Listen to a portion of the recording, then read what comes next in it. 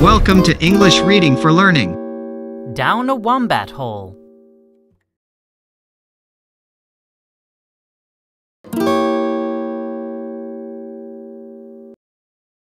For fun, American scientist Dr. Faith Walker crawls into wombat holes. Although she would love to meet a wombat, she knows their tunnels are not good meeting places. Wombats look like teddy bears, but are built like 50 pound bulldozers. They run away when they see a human. Dr. Walker could get crushed if a wombat tried to rush past her in a tunnel. Dr. Walker is studying southern hairy nosed wombats, which live in remote areas of South Australia. She camps near the wombat tunnels and stays several months. Insects and heat make camp life uncomfortable. Dr. Walker wears a net over her head so bugs will not bite her. The dusty holes smell musky, but she cools down by crawling inside. It feels like air conditioning, she says. Not much is known about wombats, so Dr. Walker is trying to learn more. Trapping wombats is very stressful for them, Dr. Walker says. Instead of handling them, she studies their hairs. To do this, Dr. Walker stretches sticky tape across a tunnel entrance. The tape catches a few hairs when a wombat brushes it. She then collects the hair samples to study them. In a laboratory, she studies the tiny details of the hair. Using these details, she can tell which wombat the hair came from. So each hair is like a wombat name tag.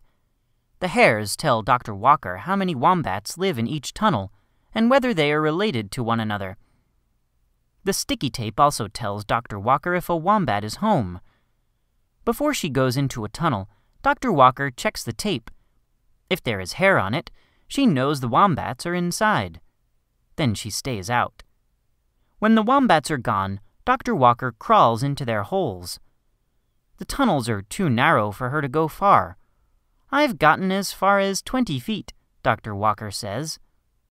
Time, a wombat charged up a tunnel toward Dr. Walker.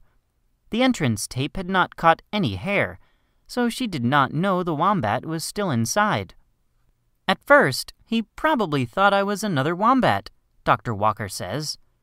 As the wombat got closer, he saw that she was human and he ran away. Crawl into the tunnels for fun, says Dr. Walker. But sometimes she discovers new information while she's down there.